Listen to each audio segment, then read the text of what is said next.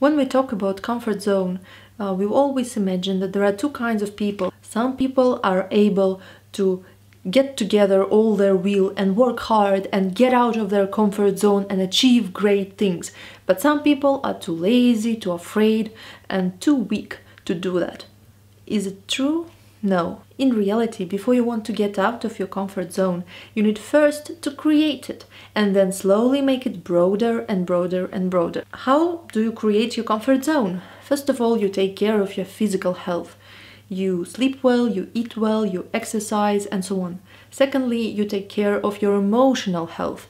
You get rid of your toxic relationships, people who put you down. You learn new skills that will help you deal with yourself better. First of all, these emotional intelligence skills, such as skill to understand and deal with your emotions, skill to analyze your thoughts and thinking patterns and change them, skill of communication and empathy, and then training your discipline. In creating emotional comfort zone, it is also important to address your inner conflict and any resistance that might be inside you. Often we imagine that we want something, but in reality, not all of us want something. Maybe a part of us is afraid of it, or a part of us is really angry about it and resistant to it.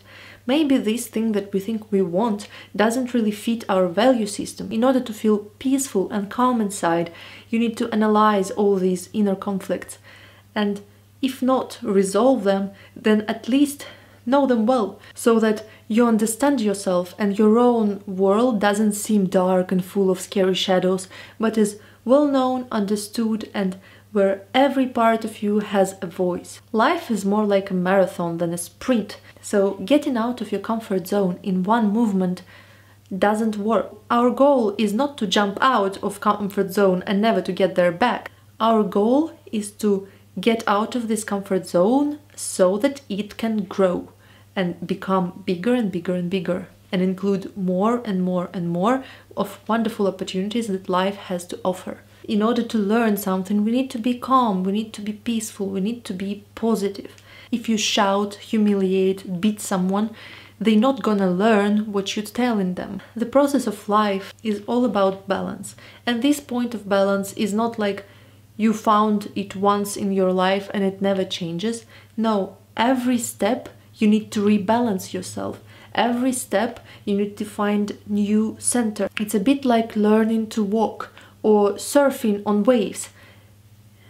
You have to adjust to this flow that surrounds you and to your own weight and body and position. Think also about children.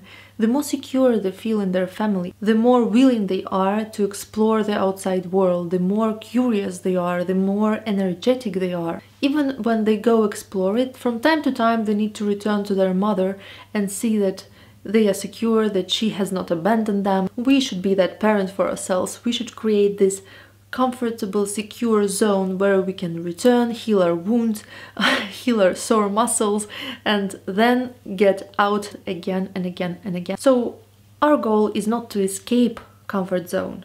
Our goal is to create it and make it bigger and bigger and bigger. And this is how development goes. If you feel depressed or upset or low on energy, don't blame yourself. It is quite possible that you live in this discomfort zone Maybe you live with a toxic partner, or maybe you lack some skills to deal with your own emotions. Instead of blaming yourself and calling yourself weak for not being able to get out of your comfort zone, try to create this comfort zone for yourself first. Learn the necessary skills to deal with your emotions, solve your inner conflicts, and only then you will be curious and inspired to step out of your comfort zone. Bye bye.